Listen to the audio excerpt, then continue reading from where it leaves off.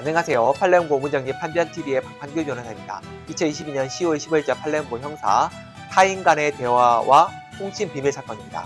선고는 2022년 8월 31일이고 사건 번호는 2020도 1007 판결입니다. 이 사건은 통신비밀보호법 위반이고요. 피고인이 상고를 했는데 상고 기각돼서 유죄가 된 사건이죠. 피고인은 교회 사무실에서 A, B, C라는 사람이 게임을 하면서 한 대화를 휴대전화로 녹음을 했습니다. 그래서 이 녹음한 내용을 교회 장로인 D에게 카카오톡으로 녹음 파일을 보내줍니다. 그 D라는 장로한테 카카오톡으로 녹음 파일을 이제 보내준 거죠. 그래, 그래서 이 피고인이 공개되지 않는 타인 간의 대화를 녹음하고 누설한 것으로 기소가 됩니다.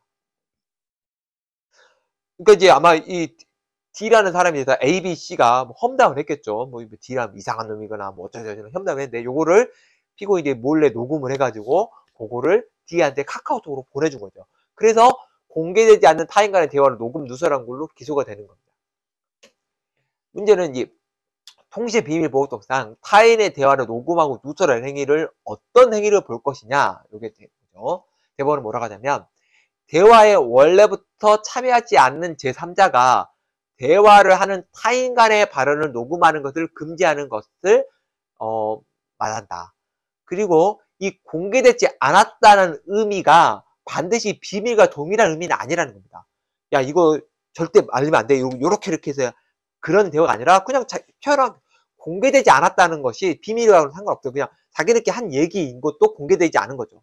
그런데 여기에 대화에 참여하지 않는 피고인이 대화를 녹음하고 전송한 것은 통신보호법 위반이 된다는 겁니다. 즉, 공, 대화에 참여하지 않은 자. 그러니까 예를 들어서 4명 이렇게 앉아 있는데 한 사람이 그냥 말을 안 하고 가만히 있는 상태에서 그러니까 다 알고 있어요. 대화를 하다가 이 사람은 뒤에 대해서 이야기를 하고 있으니까 그냥 나는 대화 이 뒤에 대해서는 뭐 할 말이 없어. 그래서 안 하고 있는 요거는 원래부터 참여하지 않는 제3자가 아니죠. 원래 참여하고 있다가 특정 주제에 대해서만 안 한 거니까 이 경우 말고 자기들끼리만 이야기하고 있고 이 사람이 그 존재를 모르거나 혹은 알 수 없는 경우 그 경우를 말하는 겁니다. 그러니까 이제 한마디로 말하면 그 몰래 녹음하는 거죠. 몰래 녹음하는 게 중요합니다. 그래서 공개되지 않았다는 거는 몰래 한다는 거고 다만 몰래 했다는 것이 그들끼리의 꼭 비밀이라고 우리 비밀로 해야 된다. 절대 나가면 안 된다. 이런 말을 하고 한 대화일 필요는 없다라는 거죠. 그래서 결국 대화에 참여하지 않은 자의 녹음, 대화 녹음하는 건 위법입니다. 이게 핵심입니다.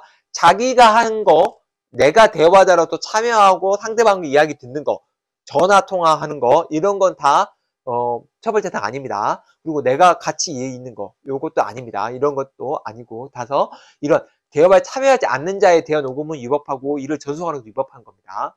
예를 들어서 네 명이 대화를 하고 있다가 한 명이 방에 들어가서 자는 겁니다. 자면서 일부러 녹음기 딱 켜놓고 들어가서 자는 경우 이거는 대화에 참여하지 않은 것이고 이거를 녹음하는 것은 위법입니다. 그래서 대화에 참여한 자가 한 녹음은 처벌 대상이 아니지만 대화에 참여하지 않은 자가 대화 녹음을 하고 이거를 전송하는 것은 위법이 있다. 꼭 기억해 주시는 게 좋을 것 같습니다. 이상 마치겠습니다. 감사합니다.